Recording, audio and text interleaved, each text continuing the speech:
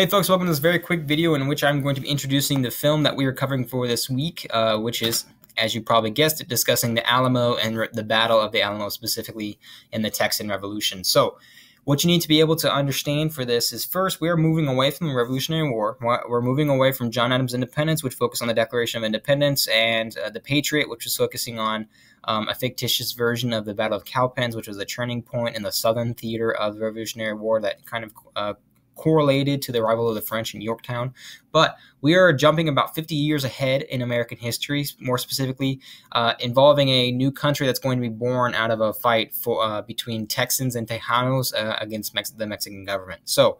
What you need to be I'll, I'll, what you need to be able to understand, if I can speak clearly, is that the Texan War for Independence in the 1830s is going to have a direct impact in, in uh, and directly lead to the Mexican American War um, in the 1840s. So what do you need to know? First and foremost, we're in the 1830s, 1835, 1836 area. Mexico still owns a majority of Texas, or Tejas as they call it, um, Nevada, Utah, parts of Colorado, New Mexico, Arizona, California. Originally, it's called Alta California, and then to, uh, below it was Baja California, which in California means is is a, is a Spanish word. So Mexico own is a, is a very vast country. It is also a government that in some in some ways is more organized than the United States government. Um, the Mexican government declares independence uh, around or has a war for independence against Spain around 1821. Becomes its own country after uh, being li- after liberating itself.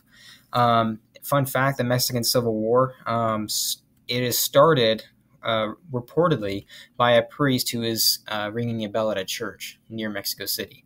Um, and from there, that involve they have their own conflict. Mexico becomes its own government, but uh, in the 1830s, it's going to be led by their president, uh, General Antonio Lopez de Santa Anna, who is who likes to fashion himself as if he's Napoleon, the Napoleon of the West. He's uh, very vicious in battle, but also very um, st- strategic. So Mexico at the time is in many ways more organized and also more established than some of the uh, state governments and regional governments that the Americans have created around Louisiana and also Texas. So, what's going to happen is te- uh, this entire northern area of Texas, in particular around this eastern side uh, next to Louisiana, is going to be very, very populated by many, many Native Americans who like to raid and attack the sparsely populated Spanish settlements, or Mexican settlements, excuse me, all along the frontier. This entire area is sparsely populated by Europeans. Um, and those that do live around the area live so in mission in Spanish missions that were established by missionaries and also soldiers to either extend Mexican uh, and to some extent Spanish authority into the frontier, um, but also to uh, Christianize the, the, natives in a way. They they wanted to spread the Catholic religion, and so these forts, or sorry, these uh, missions, in a way, were very uh, meant to colonize Native Americans as well as provide them with the, the, the Mexican religion, Spanish religion. But at the same time, Mexi- uh, Mexico is going to realize that, hey, we don't have enough people in Mexico who are either one, willing to travel to this sparsely populated area and settle and make new towns, or that we just don't have enough people in general who are uh, who um, can populate this particular area. Most people were concentrated concentrated around Mexico City, uh, which was the geographic hub of the Mexican government. And so many folks did not want to come up here to where at any point in time you could be raided by Native American tribes such as the Comanches and Kiowas, um, or you just have to deal with the ever expanding west, the westward expansion of the Americas, or sorry, the United States of America. So the Mexican government is going to decide, look, we'll create a program. We will allow some Americans to come in. They cannot bring slaves with them under treaty. They cannot bring slaves with them, but we'll give them land grants in which they can uh, start to build towns, populate the area, and then, uh, but they're going to become Mexican citizens in, in time. So this is still Mexican territory. It is Mexican country. It is part of the, the country of Mexico. I want you to know that because a lot of people don't realize that. So, more Americans are to come in, such as uh, Sam Houston, as well as other folks as well, and they're going to have massive land grants stretching thousands of acres You one for cattle, two to build to build towns to populate the area. However, a lot of them are going to come from the south, and they're going to bring slaves with them, which was directly uh, which was directly prohibited by the by the Mexican government when they prom they allowed white Americans to move in. So there's going to be some conflict here. The Mexican government's going to say, look, you cannot bring slaves here. We do not tolerate the use of slavery or the practice of slavery in this country, and you are specifically going against the bounds of the contract in which you signed. The whites were like, no. So what they decided to do is that they thought, okay, the Mexican government is tyrannical, almost in, in a way of like the Boston Massacre, and so, or sorry, Boston Tea Party, and they decide that they're going to actually stage their own revolution the title for these very wealthy white individuals, white Americans who get thousands of acres and land grants, are going to be called empresarios uh, in Spanish. And they are also going to be the leading uh, advocates for Texas annexation into the United States and or Texas or Texan independence. So, some myths and misconceptions with the war. Here is the extent of the Republic of Texas that they're fighting for in the Revolution. Uh, the majority of battles are only fought in this small region right here including the Battle of the Alamo and the Battle of San Jacinto, which is going to be uh, shown in the film we watch this week.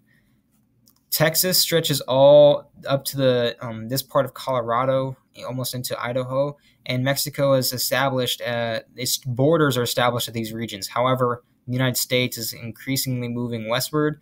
At the same time, many several of the individuals who move in are very friendly with some of the Congress congressional representatives in, in the United States and say, "Hey, look, uh, you scratch our back, I'll scratch, we'll scratch yours.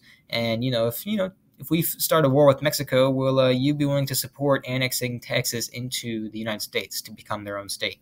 So there's kind of this like back these backroom deals are made, and originally Texas is not part of the United States, and it will not be until the Mexican American War. Texas is actually going to be its independent country. So if you go to Texas and you ask them about their country, you will ha- hear someone who is very patriotic who says, "Yes, we are we were our own country." Uh, and to this day, they still sometimes have that mentality. Most land grants are going to be, excuse me, used for grazing, but also still are still prone to Native American raids. And then again, slavery. This is uh, I want to say that this episode in American history, in particular the Texan War for Independence, is almost a direct prelude or foreshadows the Civil War that's going to be fought no more than 15 years later. So, 25 years later, until 1860. So, the Alamo mission that you're going to see in the film was originally created by Spanish missionaries and also to some extent some soldiers and uh, Native American tribes around the area who were one Catholic, wanted to spread the religion, but also two wanted to establish some sort of Mexican uh, presence on the frontier and say that yes, this is Mexican land, even though there are not a lot of Mexicans who live here. The Alamo is currently uh, a museum in San Antonio, but it doesn't look the same as it does in the film. And there's a website link I want to share with you in our discussion post for this week, into where you can actually see what it looks like today and what it looked like back then, and also we can compare how it looks in the movie. So Lopez de Santa Anna is a very well trained, very well educated, elite member of Mexican society. He is also a brilliant tactician and strategist. And so what you're going to see, a lot of people don't realize how how brilliant he was. So Characters in the film you have Sam Houston, who again is going to be a former congressman to the House of Representatives from Tennessee. He was also a governor of Tennessee, so he's very well known across the entire country. And and you'll hear in the film where they re- they mention the fact that he was almost a presidential prospect. Um, he moves to Texas in 1832 and becomes first uh, president of the Republic of Texas after the uh, after Texan, Texas wins the war. Um, spoiler alert. And then Sam Houston is going to be directly credited with the 18 minute victory over Santa Anna at San Jacinto, um, in which uh, Houston basically says, Look, Santa Anna loves to believe that he's uh, Napoleon. So what is he going to do? He's going to trick him into actually doing his own Waterloo. I'll allow you to see that in the film. You have Davy Crockett again, uh, who's a very well-known folk hero across the entire American West. He's uh, the man who never misses a shot, the man who wears a raccoon on his hat uh, or on his head, and there are nu- numerous plays that basically myth- uh, deify him and make him almost a mythological uh, hero in the United States. He opposed Andrew Jackson in Tennessee, which led to his political defeat because Andrew Jackson was very popular throughout the South. Um, and then after he basically is defeated and uh, is, but is still currently a sitting congressional representative, he's going to go to Texas to help out with the Texas Revolution. He's going to say, "Look, I'm here to help you become your own independent country, just as much as what they did in the, the Revolutionary War." So he's going to be um, at at the Alamo during the time of the, the War of uh, Texan Independence. But at the at the end of the movie, you're going to see this scene that it was never real. Davy Crockett is believed to have died at the Alamo um, in the hands of the, the, the Mexican army, but there the the the scene at the end is not true. they added that in for effect. So, Jim Bowie, you've heard of the Bowie knife. It's named after this individual right here. He was a slave trader, a politician, and originally was born in Kentucky. He's an, another iconic American figure who's going to head into the Alamo, and um, he's going to move to Texas in 1830, and he marries a Mexican wife. He leads the Texas Volunteers, and you're going to see him get into conflict with Colonel William Travis, who is the, the leader of the regulators. And so the regulators are like the official Texan army, and then the volunteers are like militia who they kind of butt heads from time to time. You're going to see Bowie butt heads with Travis. He's also going to die from tuberculosis um, later in the film while he's like actually having two guns in his hand and he's firing at Mexican soldiers.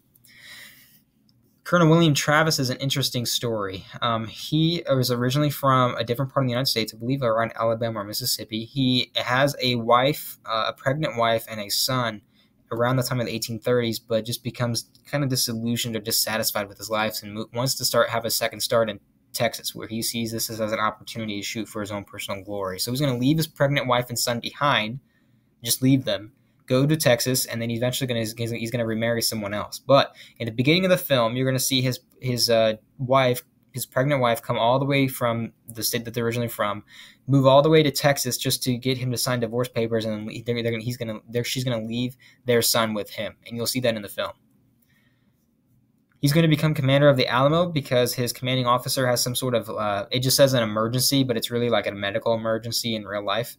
Um, so Travis is going to assume command of the regulators and then try to assume regular command over the Alamo. He's eventually going to assume full control.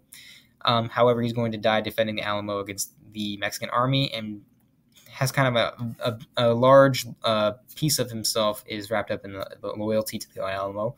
Juan Seguin is a very important figure because he is kind of like the Tejano presence. Now, remember, there were different people involved in the Alamo conflict. You had the Texians, who were white Americans who wanted, who a lot of them um, favored the idea of Texas becoming a slave state in the United States. Um, but also, you had Tejanos, who were Native Mexicans, who supported not not so much supported slavery, but put, supported independence from Mexico, even though they were Mexican themselves. Juan Seguin is going to be uh, in the film. He's going to command Mexican forces at the Alamo. He's also going to be uh, told to go give a message to General Sam Houston to say that from Travis, saying that the the, the Alamo has basically fallen to the forces of General Lopez de Santa Anna, and um, you're going to see Juan Seguin actually be very upset with that and not want to leave his men. Then you have, last but certainly not least, the actual general himself, Antonio Lopez de Santa Anna. He's the president of Mexico. He's highly trained, highly educated, and originally he's going to be defending Mexican interests in Texas. You're going to see a lot of the settlers and various individuals on the Texian side and Tejano side who are very afraid of his well trained army. They are meticulous and they're actually in some ways superior to the American army. Um, He's going to win a victory at the Alamo. He's going to kill all the Alamo defenders, and that's where you, in the Battle of San Jacinto, the, the phrase "Remember the Alamo" as well as remember the uh, some of the other battles I need to remember. But there's remember the Alamo and remember uh, the Gordo.